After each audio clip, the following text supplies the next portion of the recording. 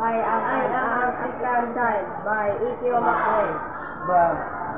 I am an African child born with a skin the color of chocolate, bright, brilliant, and articulate, strong and bold.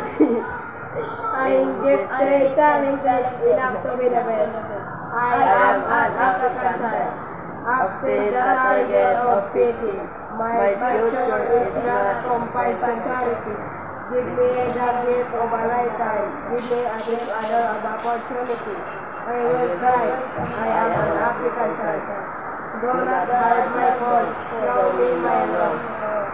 I am like any other. Teach me to swim, and I will become. I am an African child. I am the son, daughter of God, making picture and full of potential for a tomorrow. Sweetness, teach me character, teach me hard work, teach me to tell like the star within me. I can be extraordinary. Call me William Kamkwamba, the inventor, the legendary with God.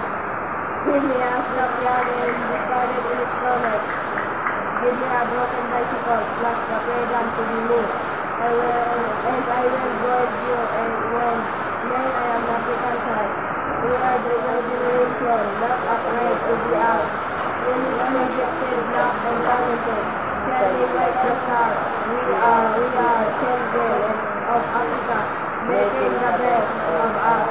Yes, I am an African child.